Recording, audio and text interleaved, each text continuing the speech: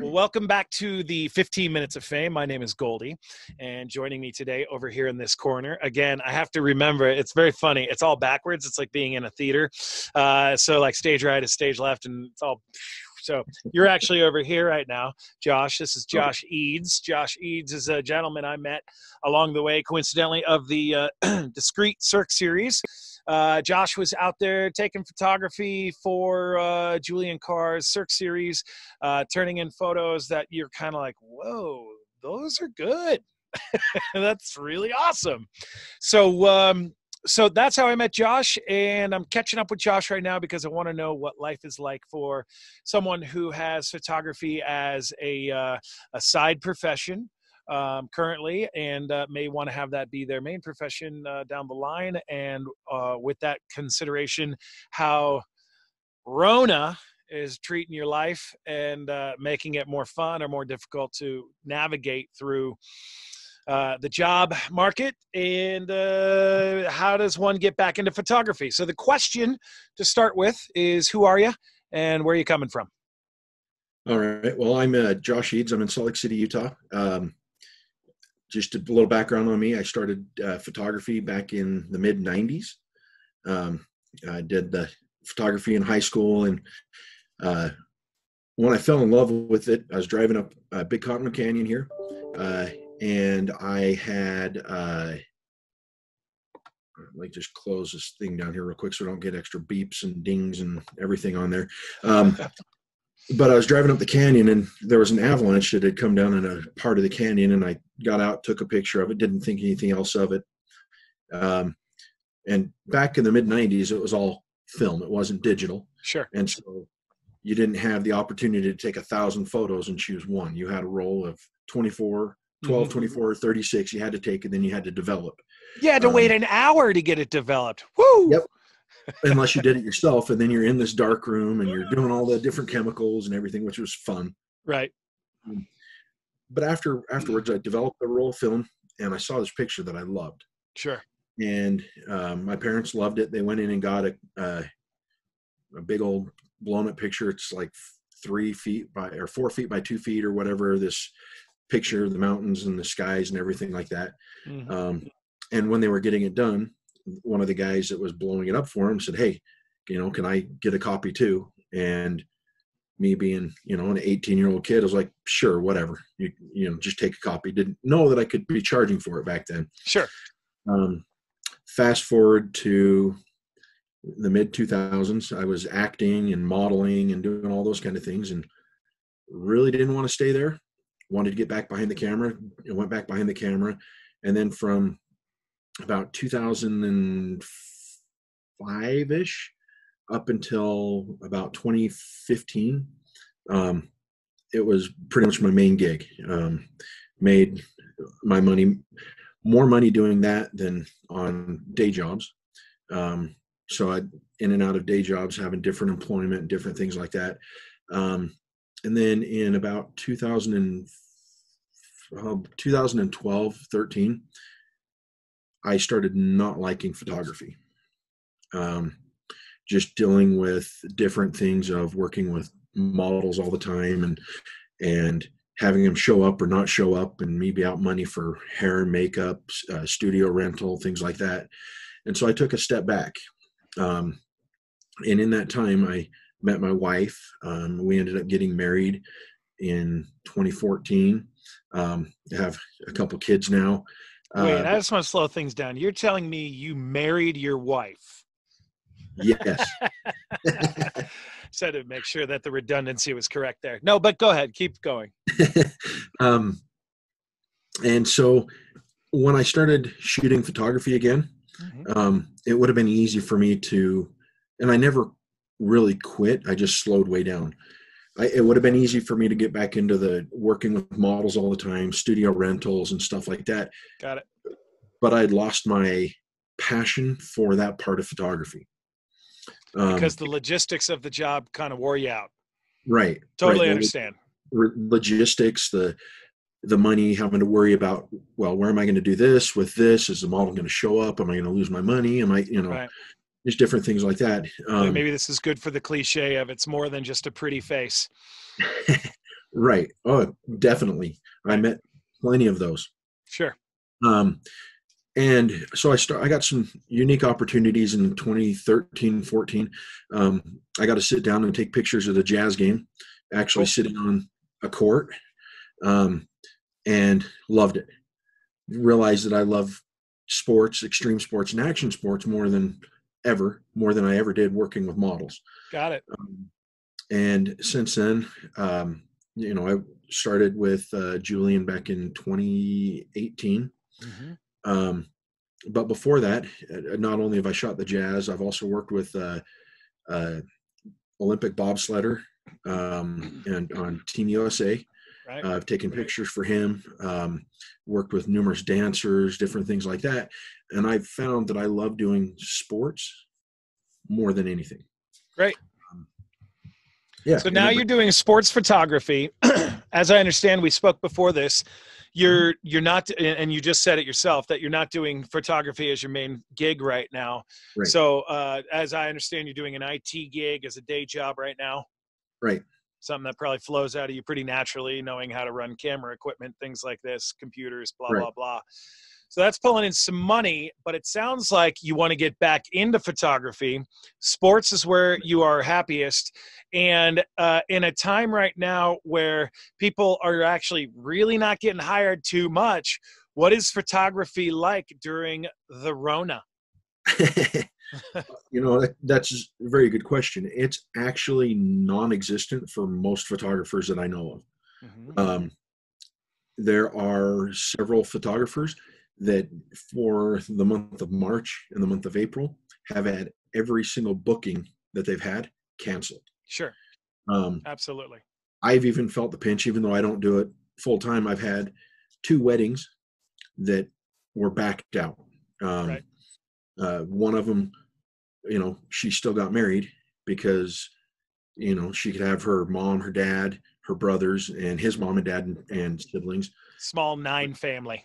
yeah but nobody else and even that was right, right, right. was pushing it hmm um, but you know it, it it's the same way every photographer i've talked to says you, we don't know how we're going to make ends meet everything is stopped Sure. even even though with photography you can technically stand 30 feet away and get a good picture of somebody. Hmm but people are like no i can't do it. It's too close. It's like okay well so they're looking at it reevaluating where things are in may. Hmm and so and which is to me honestly why i'm happy that i have a day job Mhm. because i can still support my family where other photographers that i know of are wondering how they're going to they're going to put food on their table next week Sure, and and that uh, there's a lot of industries that are right in the same boat. A lot of us, so it's understandable. Um, in in the time of the Rona, uh, is there any type of photography that would inspire you? I mean, obviously you're you're kind of bound to the house for a while, but uh, is there studio shots you can do? Are you inspired by you know what? I'm going to take a shot from my window just because I'm going to see if I can get that bluebird that's. Uh, perched in the tree across the street. I don't know. Maybe that looks creepy. I don't know. um well to be honest um the main things that are inspiring me in this the rona time yeah. Rona.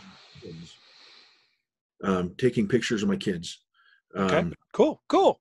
Being able to be more present because I'm not worried about what's going on out there. You know, what's going to happen with this, this, you know, this basketball game that I'm going to be shooting or this promo for, uh, uh, you know, hockey nets or whatever.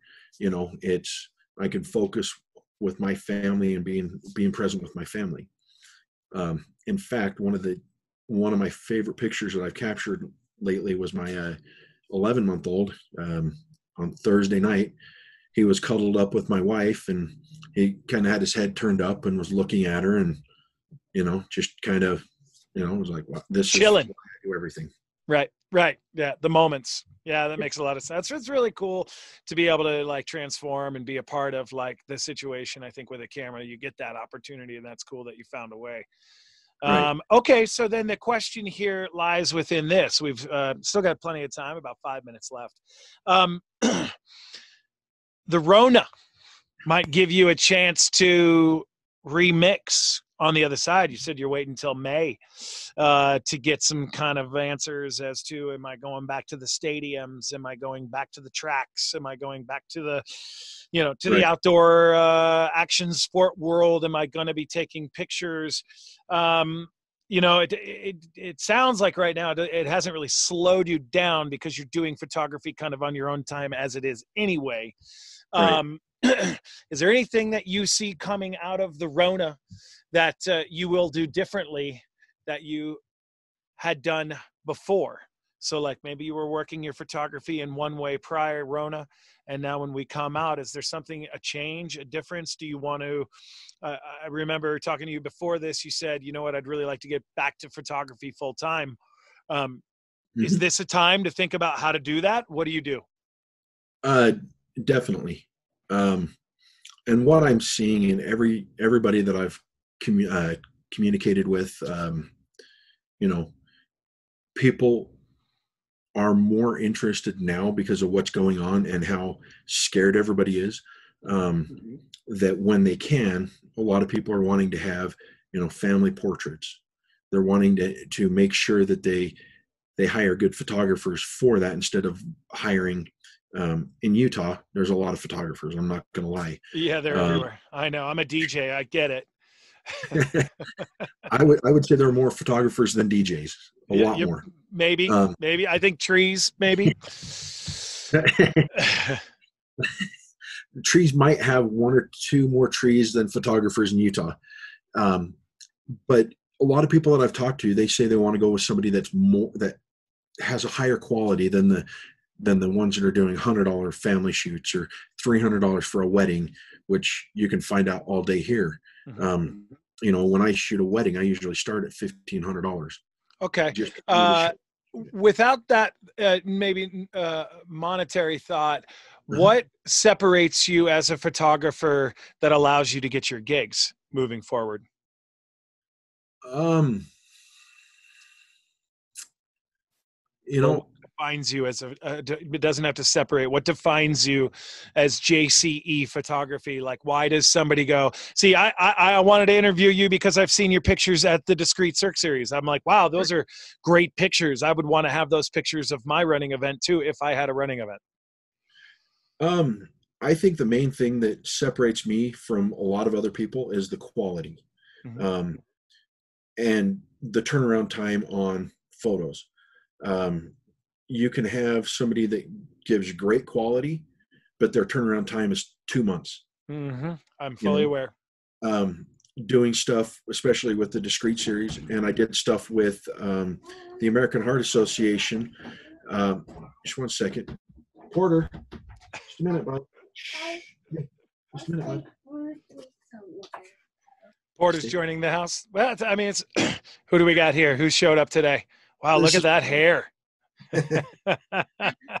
hey, buddy, how you doing today? Good. Oh, that's great. Are you enjoying all this time at home with Dad? Yeah. Yeah, are you? Is it really great to have him home this much? Yeah. Yeah, it is. Do you guys play games? What do you do? No at work anymore. Are you guys work friends? we are work friends, as a matter of fact. That is correct. What's your name? Porter. Hi, Porter. My name's Goldy. How you doing, bud? All right. Hey, I'll be up in just a minute, okay? Hey, Porter, it's great to see you. Actually, I think I saw your hair long before I ever saw you. That is incredible. I didn't know if he was wearing a, a helmet or if that was real. That's impressive. You you got real. one heck of a head of hair there. He's a cutie. That's awesome. Um, but well, so we only really have about 30 seconds to go uh, Josh, and and I know that you're working to move forward in the uh, action sports photography. So if somebody wanted to hire you for photography and they don't want to just take my word for it, uh, where do they find you online? Where do they find you on the Instagrams? All the things, and uh, how do they uh, connect with you?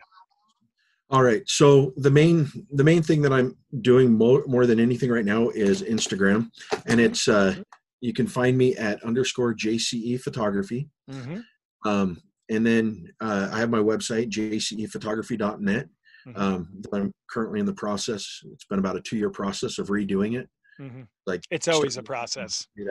Um, and those are main the two main ways you can find me. Um, you can email me at josh at jcephotography.net. Um, and, you know, let's go out and, and make some magic happen. Yeah, and get those pictures.